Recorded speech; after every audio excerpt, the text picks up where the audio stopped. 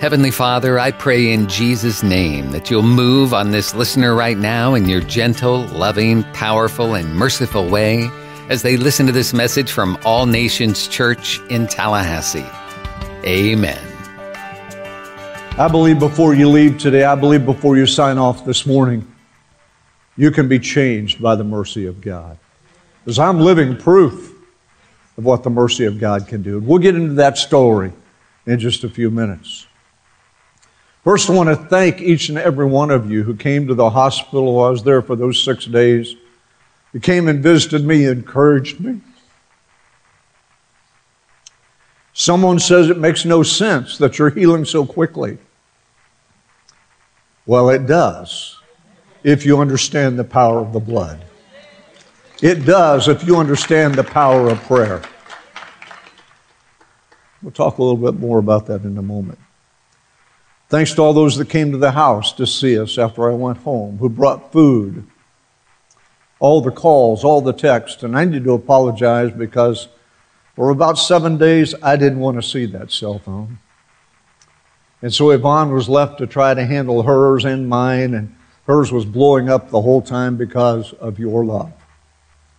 Because of those of you around the world who love us. So if I didn't get to return your call or your text, I'm sorry. Catch me after service and we can talk it out. Amen? And I want to thank all those who stepped up here at the church to lift the mantle of leadership and cause things to move forward. The board did a wonderful job. Those of you who stepped up to speak, to preach, to teach, thank you so very, very much. I greatly appreciate it. And it shows me this is a mature church. This church is filled with believers who understand the mandate of ministry. That encourages me.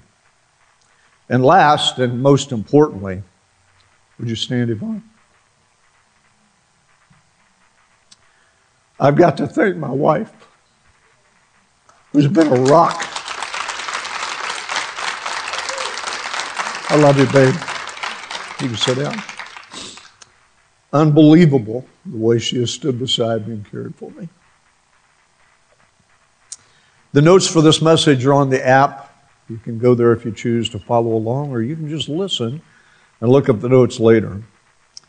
For about two months now, two and a half months, we have been in Acts chapter 2 talking about this is that, which was Peter's response to the criticism, the scoffing, the doubt, the unbelief of the Jews in Jerusalem on the day of Pentecost when they heard the 120 speaking in their own languages, declaring the wonderful works of God. Peter stood then and said, These are not drunk as you suppose, it's only the ninth hour, but this is that which was prophesied by the prophet Joel. And he began to quote Joel chapter 2. And as we walked through this message and talked about what that means, and it is a message, not one message, God has been so present and so real and done so many mighty things in this house. And I want to tell you, if you're looking for a place where the Spirit of God is here all the time, you found it. If you're tired of church as usual, come visit us. If you don't want any more dead religion, come and find the living Christ that will transform your life. And as I was a month ago, over a month ago, preparing this message to preach on October the 30th, I read through the entire book of Acts, and not one time is the word mercy or God's mercy referenced in the book of Acts. But when you read every chapter, it's written plainly upon the lives of those that God touched. His mercy, it's there. And I wrote this note in my sermon notes Would you rather read about God's mercy or would you rather experience it? We'll talk more about that in a minute. But what we need to understand is when God begins to move among a group of people, mercy is always poured out. First on his people to bring forgiveness, reconciliation, restoration, encouragement, and then on the lost, the sick, the bound to bring healing, forgiveness. And as his people begin to share his wonderful works, mighty and wonderful things begin to occur. Matter of fact, Hebrews chapter 4, verse 16 tells us, well, verse 15 and 16, for we have not a high priest who cannot be touched with the feelings of our infirmities, but he was tempted in all manner like as we are, yet without sin. Therefore, and I love that conjunction, therefore, let us come boldly to the throne of grace that we might receive mercy or obtain mercy and find grace to help in our time of need. Isn't it interesting that in that verse it clearly shows us mercy is the gateway to grace? And it's interesting that God's mercy keeps us until God's grace finds us. That's a powerful thought. You need to consider it, contemplate on it, and then apply it in your life. God mercy, God's mercy has kept me until His grace found me. And it transformed and changed my life. You know, to really have the understanding and background of God's mercy and what it means to us and what it meant in the Old Testament, we have to go back and look at how the Ark of the Covenant was constructed by Moses under the instruction of God. You know that in the Ark of the Covenant, there were three things. It was Aaron's budding rod, a jar of manna, and the stone tablets with the commandments written on them. And the Ark of the Covenant represented and was, in fact, the presence of God for the Hebrews. On the top of that ark was a flat seat made of solid gold. And that was the mercy seat. And once a year, the high priest would enter the Holy of Holies with the blood of a spotless lamb. He would sprinkle that blood on the mercy seat, and there justice met mercy.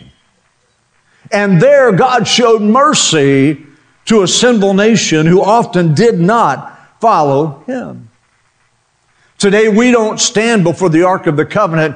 We stand before the cross because that is our mercy seat. It was on the cross that justice met mercy and forgiveness was granted to anyone who would choose to ask. It was on the cross that a, sin, a sinless, holy God met sinful man and brought change into his life. Romans 5 8 says it this way but God demonstrates His own love toward us in that while we were sinners, Christ died for us. 1 Peter 3.18 says, But God demonstrates His own love toward us, excuse me, for Christ also suffered once for sins, the just for the unjust, that He might bring us to God, being put to death in the flesh, but made alive in the Spirit. Ephesians 2.13, But now in Christ, but now in Christ Jesus, you who were once afar off, have brought, been brought near by the blood of Christ. It's all talking about mercy. Talking about the way we are connected to God in spite of what we bring. He shows us mercy, and that mercy leads to grace, and that grace leads to forgiveness, and forgiveness leads to transformation, and transformation leads to being a mature person in the body of Christ. So I started thinking about the mercy of God did some research and studying. The mercy of God is mentioned 261 times in the scripture. 41 books of the Bible reference the mercy of God. It's a very, very important foundational truth for any believer to understand. And then I went to Psalm 136.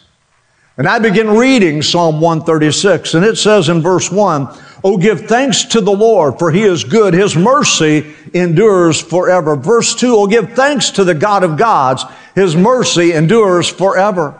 It goes on through that passage, and 26 times in Psalms 136, it says, Give thanks to the Lord, for his mercy endures forever. Must be a pretty important thing for you and I to know and understand. So let's ask this question this morning. Who needs mercy? Who needs, you don't have, well, you, thank you for raising your hand. I wasn't going to ask you to. I'm right there with you, Dr. D. Who needs mercy? Number one, those who have sinned and messed up need mercy. David one day wasn't where he was supposed to be. The scripture says in the spring, when kings went out to war, David sent his army and he stayed in the palace. Happened to see a very beautiful woman on another rooftop bathing. He began to lust after her. found out who she was, committed adultery with her, and then conspired to commit murder of her husband. And when the prophet confronted him, David wrote Psalm 51. Hear these words. Listen to it very carefully. Have mercy on me, O God, according to your loving kindness, according to the multitude of your tender mercies, blot out my transgression. David wanted mercy. David needed mercy, and mercy is what he got. If you need mercy today, ask, and you'll receive. I know there are people in this room, people online, they say, Well, I've never committed adultery. I've never conspired to commit murder and have someone killed. I don't do those things. Kind of reminds me of an old Oklahoma expression. We don't drink, smoke, or chew or run with girls who do. See, that's sometimes the attitude of the church. I don't do those sinful things. Matter of fact, I come to church every time the doors are open. I pay my tithe. I give my offerings. I serve the church. But the question is, is that enough? The answer is no. Because we need mercy. We need mercy. 1 John 1 8 and 9 says, If we say we have no sin, we deceive ourselves and the truth is not in us. But if we confess our sins, He is faithful and just to forgive us our sins and to cleanse us of all unrighteousness. Who was John writing to? He was writing to the church. So it applies to us. We should bring our lives under God's searchlight so He can examine us and then we can find what place where we need mercy and He shows it to us. So this morning, when I say God is a merciful God, I'm saying God is a forgiving God. He doesn't find it difficult to forgive. God doesn't just give us one more chance, He gives us as many chances as we need. Again and again and again and again. What did Peter say to Jesus? How many times a day should I forgive my brother who offends me? Seven times? What did Jesus say? No, not seven times. Seven times seven is what you should do. Seven times 70 is what you should do. It's amazing when you read that scripture. And if God applies that to our relationships, how much more does it apply to our relationship with Him? The mercy is willing to forgive us. God, according to Ephesians chapter 2, verse 4, is rich in mercy. He is generous and liberal with His forgiveness.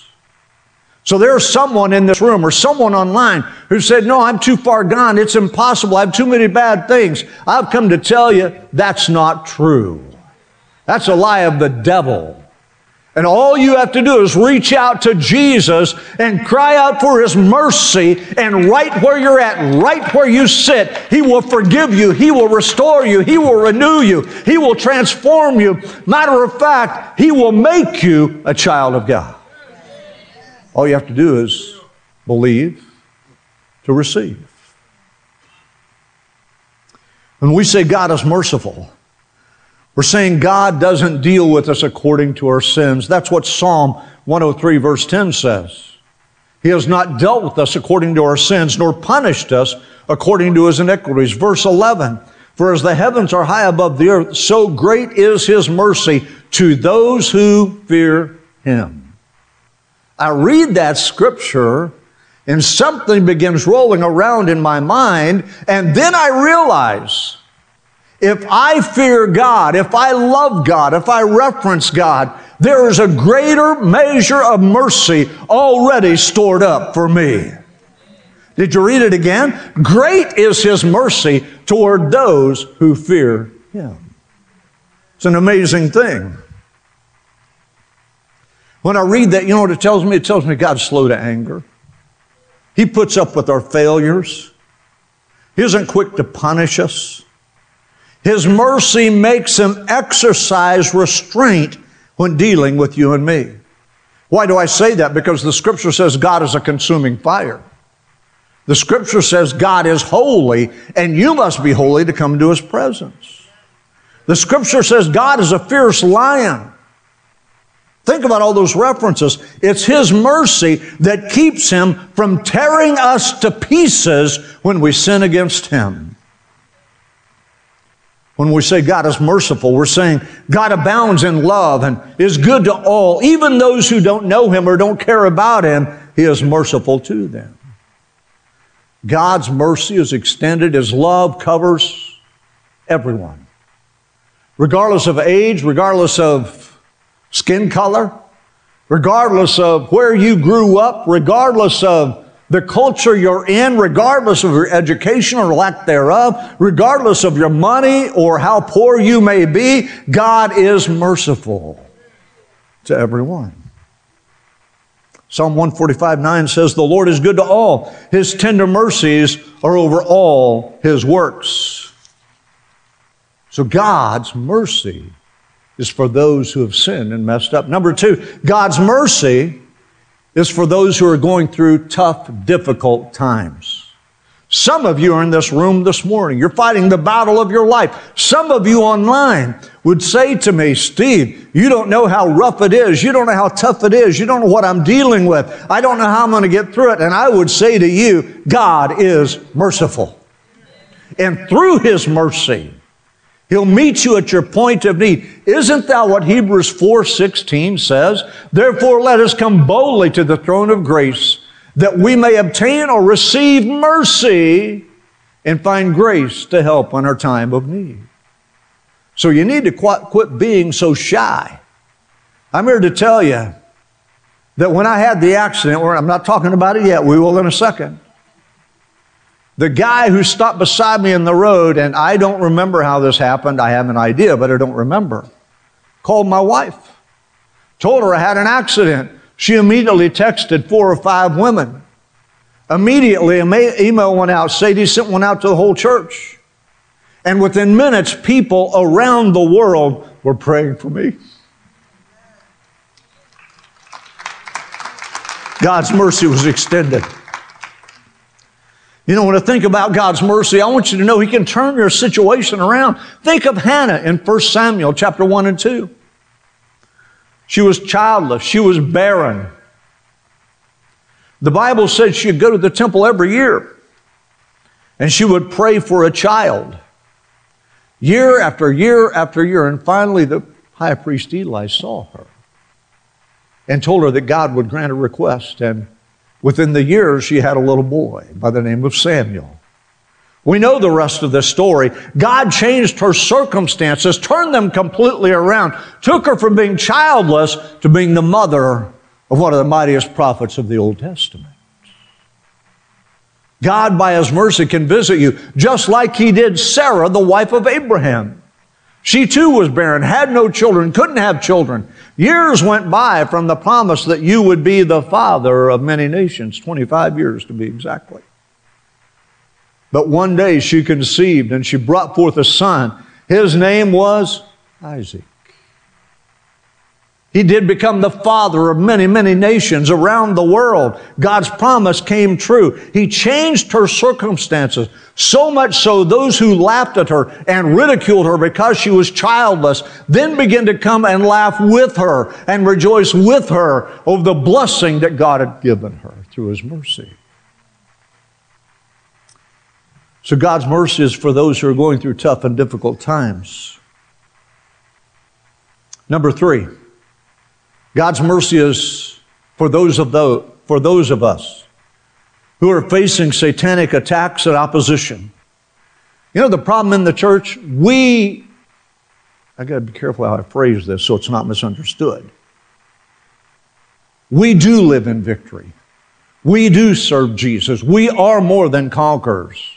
But every one of those verses imply there is someone fighting against us. There is a battle raging. There is an enemy in front of us. You see, so many times all we do is focus on the victory that we forget we got to fight. We got to pick up the sword and go to war and win the battles. It's time to stop standing on the sidelines moaning about your circumstances because Satan is oppressing you. He's attacking you. It's time to stand up on your hind legs and say, I've got news for you, devil. You are defeated. You are under my feet. You will not have your way with me. I am victorious through the power of the blood. Someone needs to do that right now. In your home, you need to stand up and do that right now. Mercy. We think about Job's life. God allowed Job to strike, uh, Satan to strike Job. He took his riches, he took his family, he took his health. But God wouldn't allow him to take his life. And in the moment in Job 2, when his wife came and said, Why don't you just curse God and die? What did he say? Oh no, I'm not going to do that. My faith resides in a living God. And I know that one day he went on to say, I will see my Redeemer and stand before him. It's amazing. When you're facing satanic attack or opposition, you need God's mercy. David in Psalm 59, 16, and 17 called upon God. He said, But I will sing of your power. I will sing aloud of your mercy in the morning, for you have been my defense and refuge in the day of trouble. Listen to verse 17. To you, O strength, I will sing praises, for God is my defense, my God of mercy. He wrote that psalm because God had given victory over his enemies. Who's our enemy? It's old horns on his head. Old Slewfoot. It's oh the one that smells of brimstone and fire, which is going to be his eternal resting place, and somebody needs to tell him that. I'm going to heaven where you got kicked out. And you're going to hell where I will never be. So what makes you think you have authority over me? I'm a child of God. I'm redeemed by the blood of Jesus Christ. I have a bloodline over my life, and you cannot touch it or cross it. When we're facing satanic attack and opposition, October the 27th, about 11 o'clock in the morning, I finished these notes for this message. Sent a quick email to the church. I included a song that we're going to use and encourage you to begin praying for the service on October 30th. And as I left the building that day about 11:30, I kept thinking over and over in my mind, I've got to find a good illustration about God's mercy. I'd ran through every story I'd ever heard searched the internet, I couldn't find anything that really fit the bill. So I walked out of the building, I got on the Harley, and for some reason, really, I don't know, probably because it was still chilly that morning, I put my helmet on. And those of you in this house, you know that there was a lot of times, probably more than I did wear it, I didn't wear it. I'll never forget the text Miss Mary sent me a few years ago. She saw me going down the road without a helmet and she sent me the text, please wear a helmet. I know you're a good rider. I don't worry about you. It's the other people I worry about. Please wear a helmet. At least make the undertaker's job a lot easier. I love that. I love that. Just exit and visit a friend. I got on I 10, I went all the way down the ramp. Traffic in the right lane was a little slow. I didn't know why. I was up to highway speed, and for me, that's 80. When I quickly moved into the center lane. And as soon as I moved into the center lane, there was a ladder, an extension ladder, completely across that lane. I couldn't go to my right, there was a car there. I couldn't go to my left, there was a car there. I didn't have time to brake or stop.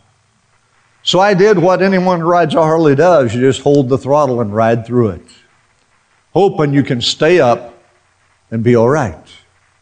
You don't hit the brake, you don't clutch, you keep the throttle on so you have power to that rear tire because that's what keeps you upright.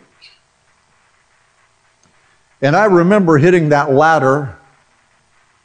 Both of my tires popped. They didn't blow out. It broke the bead away from the rim and they both lost all the air. When that occurred, I went into a high speed wobble. If you don't know what that is, you can Google it or Google Harley death wobble. There's all kinds of videos. I found one. I showed it to Yvonne and we both decided we didn't want to show it today. Made me sick just to watch it. Went into a death wobble, but when that happens, you cannot control the motorcycle. If you have time and space, you can slowly slow down and get it back under control. But again, I had neither time or space, cars on each side of me. And when I realized I couldn't control the bike, I looked the direction it was going. It was going directly toward that concrete barrier that separates the east and the westbound lanes of I 10. Someone said to me, Well, did you pray? No, I didn't. Did you say Jesus? No, I didn't. You know what I thought? I thought, I'm going to hit that wall and this is going to hurt. I knew I was going to go down. You see, when you're prayed up, when you're full of the Holy Ghost, when you're walking with the Master, He's got you. If you have time to say, Help me, He will. If you don't, He will anyway. You see, it's, mercy is not based on what you say to Him, it's based on what He's done for you. It's walking in relationship with the Master and seeing what it can do in your life. In a split second, I realized, and it literally was a split second, that I was going to hit that wall. And I don't have a memory of hitting the wall because when I did, it knocked me off the bike. Let me stop and say I'm thankful I was on a 1,100 pound Harley Davidson. Because a smaller bike probably would have thrown me over the handlebars across the wall and into oncoming traffic of I 10 eastbound. The bike hit the wall. I'll show you some pictures in a minute. And I don't know how it did this, but it went all the way back across all three lanes to the right shoulder and ran down the guardrail and never laid down. Amazing. I came off the bike when it hit the wall and slid across the shoulder, the left lane, and ended up in the middle lane of I 10. Sean Acre happened to be going by, and she saw me laying in the middle of that lane. She wasn't sure it was me, so she turned around to look at the motorcycle, and when she saw it, there was no doubt in her mind it was me. I remember coming to consciousness laying, and I didn't know where I was. And there was a guy kneeling beside me. Turns out he was the first car behind me. When he saw what was happening, he shut his car down and ran to me. An amazing thing happened. This little iPhone was in my back pocket, and it survived that crash. Now, the case it was in didn't survive, but the phone did. And I must have told him, unlock it, told him how to do that, and told him to call my wife. Because he called her. And within minutes of the accident, there were people around the world praying for me. She notified everyone she could, and they notified everyone they could.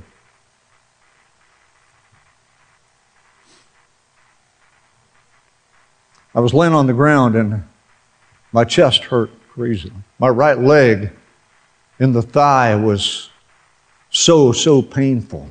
I hurt everywhere. The first miracle I want to talk to you about is the fact that I'm alive. Because today, without the mercy of God, I would be in Rose Hill Cemetery in Oklahoma City. It's an amazing thing. One of the people that Yvonne texted was Alyssa Bedford. Jarvis, her husband, a battalion chief of the fire department, was working that day. She called him and said, Pastor's had a wreck. And this is from Jarvis. He said, I told her I'll call you right back. He had heard the wreck on the radio, had no idea who it was. So he called the guys at the scene and they, he said, Was it a Harley in that wreck? And they said, Yes, it was. It was orange. When he heard that, he told me his heart fell. He told me he went to a very, very bad place. Because he's worked I 10 and those accidents for years, and Jarvis said no one ever survives. When they hit the pavement, either they break their neck or they're ran over. Hadn't seen one survivor in all of his time from a high speed motorcycle crash. And then just yesterday, I ran into Jennifer Johnson at Esposito's. And she was telling me that that day, she works in a surgical team. They were getting ready to leave and go home, and they got the message, You can't leave. We have a trauma victim coming in. And that was me. They expected to do surgery. Yesterday, I went to Walmart, which I hate going to Walmart, just so you know. I pray for you people that work there every day that God will deliver you. I went to Walmart, and as I was going in, I was stopped in the parking lot by a couple of individuals. One was a retired nurse who had spent her career in the ER. When she heard my story, she said, We have a name for people like you in the ER. I said, Yeah, what's that? She said, It's donor. Because all we can do is harvest the organs. No one ever lives. It's amazing. I went to the Harley dealer last week. I think it was Wednesday or Thursday. I don't remember which. The insurance company had sent me an estimate on my bike wanting to repair it, and I knew it was wrong, so I went out there to talk to them. Found the general manager. I didn't realize that's who he was. I'd never met him before. And he's looking at the estimate I had handed to him, and when he read 2012 Harley Davidson CVO, orange and black, he said, That's you? I said, Yeah, that's me. He said, Me and the sales manager, and he went in to get the sales manager, told him, This is the guy that had that wreck. Me and the sales manager were a few cars behind you. We didn't see it happen, but we saw you laying on the highway, and we both said, He's dead. The mercy of God. The mercy of God.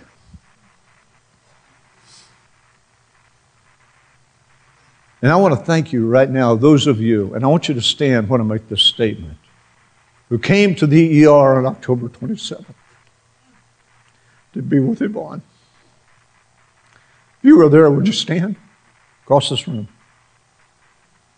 Don't be shy. Stand up. Come on, there's others I know.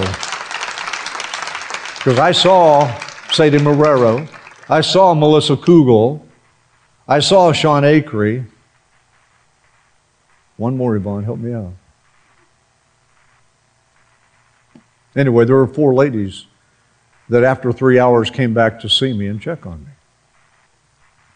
Thank you to each one of you who came to the ER to support Yvonne.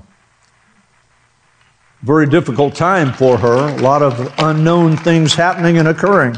Matter of fact, she told me when the guy called me and said you had an accident, he told me you were okay in talking, but I know a lot of things happen in a motorcycle accident that are not visible.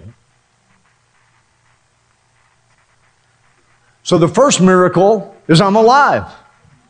Because everybody who's talked to me said, you don't survive a high speed motorcycle crash on the interstate. Either you break your neck when you hit the pavement, or you get ran over by the cars behind you. But for the mercy of God. But for the mercy of God. Miracle number two that occurred. I got into, oh, I left one thing out. I've got to tell you, this is precious. When they were wheeling me into the ER, I was conscious. I was talking to the paramedics, the EMTs. And I heard a voice. And the voice said, That's my pastor. And I said, Jarvis, is that you? He said, In that moment, he knew I was going to be okay. But he was there for me.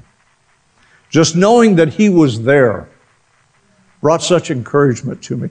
May I tell you, you can never understand the value of your physical presence to someone who's facing trauma. Be there for them. You're really not too busy. You're really not too important. Be there for them. Help them, support them, encourage them. So the second miracle occurred when they gave me enough pain medicine that I could stand a CAT scan. And after that came back, the trauma doc came in and he said, The good news is your brain is okay. Well, that's encouraging. My brain's okay. But he went on to say, But you have a lot of broken bones. You're going to have to have a lot of surgeries to repair them. And your, your recovery is going to be long and slow. I do not doubt what he said. Because from his medical experience and expertise, he was making a correct statement. But what I know is the mercy of God.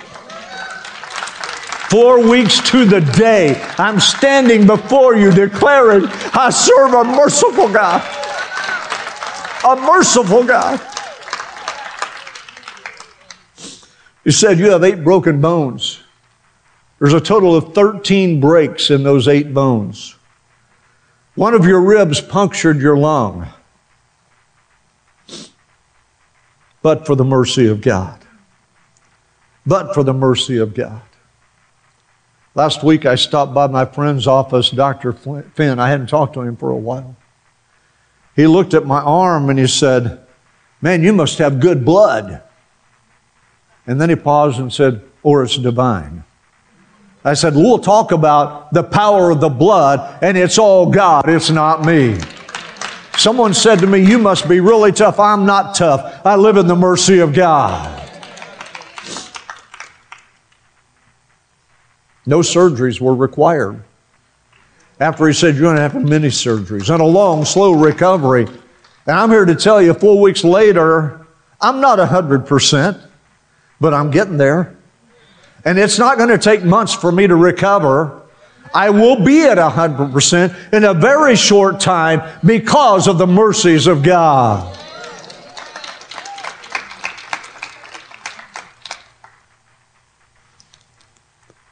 The third miracle that happened, I mentioned it earlier. I was laying on the pavement, and my right thigh, right here, was just, uh, it was extreme pain.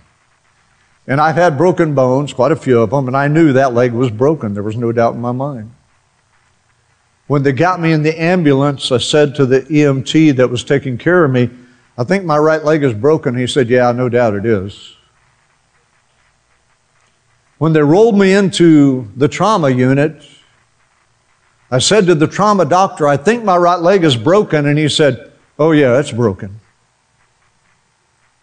Dr. Nick Kacharis, maybe of you, you don't know him, he and his wife Juliana, both doctors. He was at the hospital that day. Matter of fact, they just had a brand new baby on Wednesday. Her name is Emma Jean, and they're a part of this church. Come on, give them a hand. I know they're watching this morning. Congratulations, Nick and Juliana. We love you and we're praying for you. He got word that I was in the accident in the trauma unit, and he came.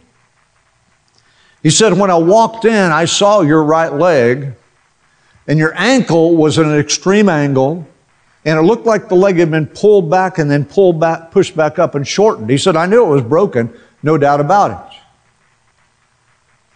So, two doctors, one EMT and me, were certain I had a broken right leg. No doubt about it.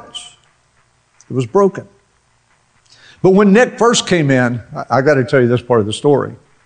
They read the CAT scan, and when he saw it, he said to the trauma doc, his lung has collapsed, been punctured. So they had to put in a chest tube. And anyone who's had open heart surgery knows what a chest tube is all about. Matter of fact, the ICU nurse told me it's the most painful part of that surgery. Well, I didn't know what it was about. I had no idea. The doctor said to me, We can either give you a local and put it in, or we can put you out. And I'm thinking, I'm in so much pain right now, it's not going to matter. Just go ahead and put it in. What he didn't tell me is the local just deadened the skin where they made the incision, and it's about that long. And my good buddy Nick, and I'm talking to him right now, and I've told him this already, who was in the ER said, Pastor, do you want me to put that in for you? And I'm thinking, a guy I don't know and a guy I know. I'm going to go with the guy I know because he cares more about me. He'll be He'll do it right. I said, Sure, Nick, go ahead. So he made the incision. And then he said, and I quote, This is going to hurt a little. Understatement of the century.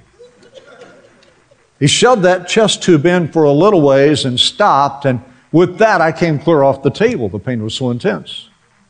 When I laid back down, he said, I got to go a little further. And it felt like he went from here to here with that chest tube. It was searing, intense, hot pain. And the miracle is, I still love you, Nick. but you're never putting a chest tube in me again. It was amazing. So after all this was done, they finally brought in the orthopedic surgeon. It's about an hour and a half later, two hours later, if I'd been there. And he says, Well, you've got some broken bones that show on the CAT scan. And I said to him, Doc, my right leg is broken. He said, Well, let's x ray it. Let's see what we got. Did the x rays. He came back a few minutes later. He had a slight smile on his face and he said, That leg's not broken. It's perfectly fine. Someone said to me, What happened? I'll tell you what happened. When I was in that ambulance, when I was laying in that trauma bay, I was thinking, God, if my right leg is broken, I can't use crutches because my shoulder's messed up, my chest is messed up. I can't use a walker, I can't put any weight on it. I have to be in the wheelchair, and I don't want to be in a wheelchair and be a greater burden to my wife. So, God, would you help me? I'm here to tell you that between the time I had the accident and the time they took the x rays, which may have been two and a half hours, God took that bone and put it back together. Remember, two doctors, one EMT, all saying, yes, your leg is broken based on their experience and medical expertise. They knew they were right. I knew they were right, but I knew I had a merciful God. We serve a God who is rich in mercy. Rich in mercy. Fourth miracle. You ready with those slides? Was the road rash I had. I had severe road rash on my nose, my face, my chin, both arms, elbows, shoulder, knees, ankles. That's what I looked like when they brought me into the ER. It was horrible. It's what my wife saw when she walked in. It was horrible. But God did an amazing thing. I told you what Dr. Finn said you must have good blood. No, I've got the blood of Jesus Christ covering me. That's another shot of what I looked like in the ER. I asked Yvonne to take these pictures because I wanted to remember what I had endured. But after five days, show that next picture, Jada. After five days, still in the hospital, I was mending, I was healing, but you can still see that huge sore on my nose and on my chin. You can't see the right, uh, the left cheek, but it was severely cut up as well. Go on to day six. This is the day I went home from the hospital. And the road rash is healing, far from gone. Going to the next slide, but after two weeks, there was not a mark on my face. There is not today. I had a deep cut on the bridge of my nose. Those that you came to the hospital can tell you I'm not exaggerating. I'm not making it up. Matter of fact, Mark Milligan came to the house after I'd been released a couple days and he said, I can't believe it. What you looked like then and what you look like now is nothing but a miracle. I have one little spot left on my elbow. That was the deepest of the road rash. And it's almost gone as well. It's an amazing thing what God can do when we declare, I live in the mercy of God. This is nothing short of miraculous. It should have taken a month or two months for all that road rash to heal. I should have scars on my face. I wasn't worried about scars on my face. I didn't ask him to make sure I didn't have scars on my face. It was just a gift of his mercy. He chose to do that for his son. The fifth miracle. When Yvonne and those ladies came in to the ER that day, First, she was glad I was alive and she kissed me on the forehead, but then she said, No more motorcycles. You know, at that point, I agreed with her completely. But I'd been home from the hospital for, what, almost two weeks probably, and one day she took the dog for a walk. And as she was walking, the Holy Spirit said to her, Is that your decision or is it mine? She said, Well, I guess it's my decision. And then he said to her, As long as he's doing what I want him to do, I will cover him. And at that point, she released that anxiety and that worry and fear over what might happen in the future and put it in the hands of God. Now, let me tell you, a lot of people ask me why you ride a motorcycle. Yeah, I do like it. Yes, I do enjoy it. It is a lot of fun.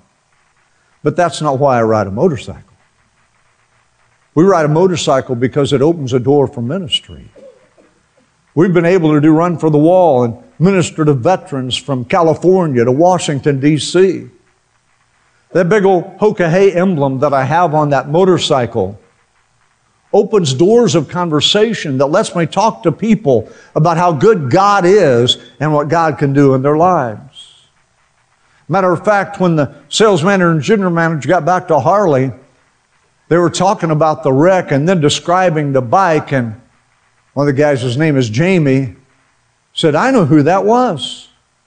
That's a local pastor. He's in here all the time. We work on his bike. And I'm sorry he's dead because they said he was dead. When I walked in there alive, Jamie was surprised as well. surprised as well. Couldn't believe it. How is it possible you should be dead? Oh, let me finish this. I don't know what we're going to do in the future about a bike, but I know if there's a door of opportunity to continue ministry and touch hearts and lives, God will cover us. That much I know. The other thing I didn't tell you is when I was going towards that wall, knowing I was going to hit it and go down, there was no fear whatsoever. None. Just a perfect sense of peace. I knew it was going to hurt. I knew I was going to be injured. But there was no fear. See, when you're living in the mercy of God, He removes the fear of the circumstance and covers you in His peace. Within minutes of that wreck, people around the world were praying for me. Every visitor that came to the hospital, I said, Would you please pray for me? How did the road rash heal so quickly? Because people prayed for me. Because I asked them to pray for me. I don't know who I'm talking to this morning, but you need to quit hiding your pain and hiding your circumstance and hiding your illness and disease and bring it out so somebody can pray for you. There is power in prayer. Job 42:10 says, "And when he prayed for his friends, he was healed." We need people praying for us. Reminding us we serve a great God, a merciful God. So I'm here to declare to you the words of Joseph from Generation Genesis chapter 50 verse 20. What you, and I'm applying this to the enemy, Satan, what you meant for evil, God meant for good. Because I am convinced this testimony will turn men to Christ, will cause them to look to Him, will help them to recognize there is help from the Lord. Told you so many times the miracle of Gary and Carolyn's wreck last summer. I tried to lift that motorcycle off of Carolyn's legs and I couldn't do it.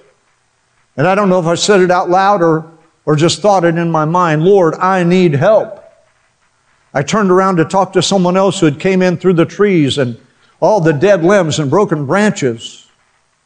He was there at Carolyn's head talking to her.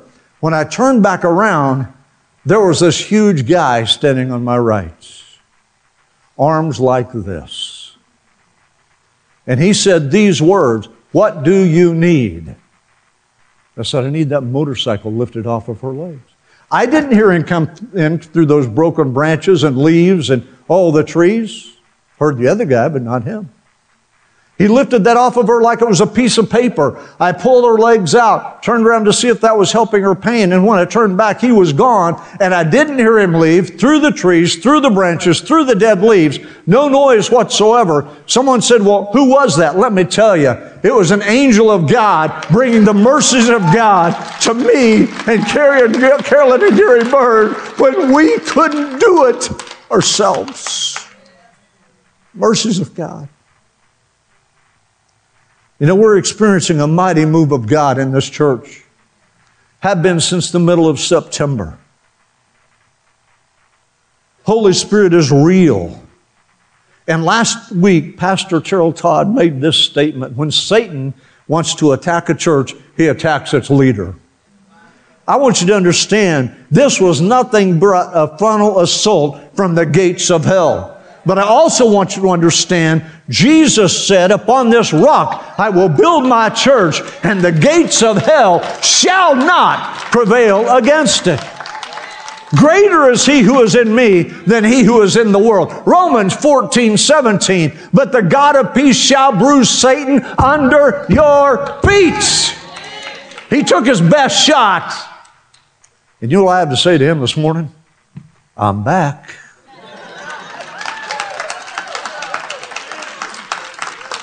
Because of the mercy of God. I want to make it very clear it has nothing to do with my stubbornness, determination, toughness. It has to do with the mercy of God. Plain and simple. Being stubborn, determined, or tough doesn't make you heal the way I have healed. The blood of Jesus does. I'm standing here today because of the mercy of God. I should be in Rose Hill Cemetery in Oklahoma City. Tom, would you come back? I should be six feet beneath the earth. My wife should be a widow. My kids should be fatherless. My grandkids should no longer have pops. But for the mercy of God. And then these scriptures began running through, running through my mind the last few days. Paul said in Acts 20 24, None of these things move me. Neither count I my life dear unto myself, that I might finish my course with joy and the ministry entrusted by Jesus Christ. Come to tell you today, it hasn't moved my resolve, my vision, my determination, my call. None of these things move me. Romans 8:18 Paul wrote, "For I reckon that the sufferings of this present time are not worthy to be compared with the glory which shall be revealed in us." 2 Corinthians 4:17 For I light affliction which is but for a moment, worketh for us a far more exceeding and eternal weight of glory. I've come to tell you today the mercy of God triumphs over the works of the devil every single time. Slewfoot is defeated, he's under our feet. God will not let your enemies triumph over you. Because of the mercy of God, he will help you. He will defend you. He will come to your aid and come to your side when you can do nothing yourself, and He will destroy and break apart the attack of the enemy.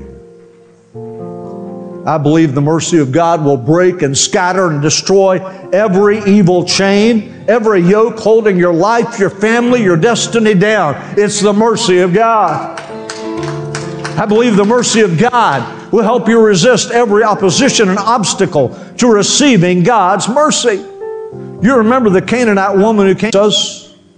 He wanted, she wanted Jesus to heal her daughter. He sent her away, said, We're not giving you help because of who you are. He wasn't being mean, he was testing her faith. She came back and said, But, Master, even the dogs get the crumbs from the table. And with that statement, he healed her daughter. You see, she needed mercy. She wanted mercy. She came for mercy, and mercy is what she got.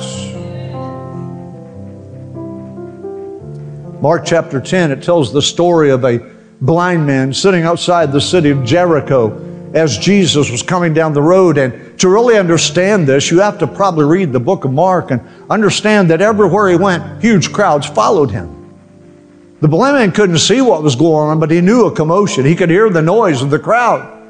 He said to someone, What's going on? And the man said to him, Someone said to him, It's Jesus coming this way. And that old blind man began to yell, Jesus, son of David, have mercy on me. Those around him said, Be quiet, shut up, don't be so loud. But he yelled even louder, Jesus, son of David, have mercy on me. Jesus, son of David, have mercy on me. So much so that Jesus heard him. He stopped. He said, What do you need? And he made him whole in that moment of time. He needed mercy. He wanted mercy. And mercy is what he got. To receive God's mercy, we have to throw off every garment of pretense, every garment of faulty thinking, every garment that says we don't deserve it, we're not qualified. You see, mercy has nothing to do with your bank account, how much you earn, or where you live, or what people think, how horrible our sins are, how big our problems are. But mercy has everything to do with God and us approaching Him in humility and asking Him to show us mercy. Elders and deacons, would you stand and come at this time? See, God issues an invitation to each one of us, and that invitation is to draw near to the throne of grace to find mercy and help in times of need. To come with confidence to the place where God meets us in Christ. Haley's coming. I want you to listen to the words of the song she's about to sing. It's called Mercy Seat. I'm not going to tell you what to do. The Holy Ghost is going to tell you what to do. But as she sings and the words of this song begin to resonate, just follow Him. Some of you are going to run to this altar. Some of you are going to come and say, I need mercy. So I ask you today, just follow Holy Spirit. And when everyone has responded and this song is over, I'm going to grab a bottle of oil and I'm going to come down and anoint each and every one of you. We're going to pray the prayer of faith over you, and it will raise and save the sick and bring transformation to the lost. So when you come, tell these elders and deacons what you need prayer for so they can pray specifically. You made it to the end of the message, and now what? Is God leading you to make a change? Are you needing a good church home where you can grow and help others grow as you fulfill your part in the body of Christ? Then we invite you to join us at All Nations Church on Sharer Road in Tallahassee, a multicultural church founded on the truth of God's Word and the power of the Holy Spirit. Our Sunday morning service is at 10:30 and Wednesday night service at 7, plus youth group and kid power and small groups and more. For more information, visit our website allnationstallahassee.com.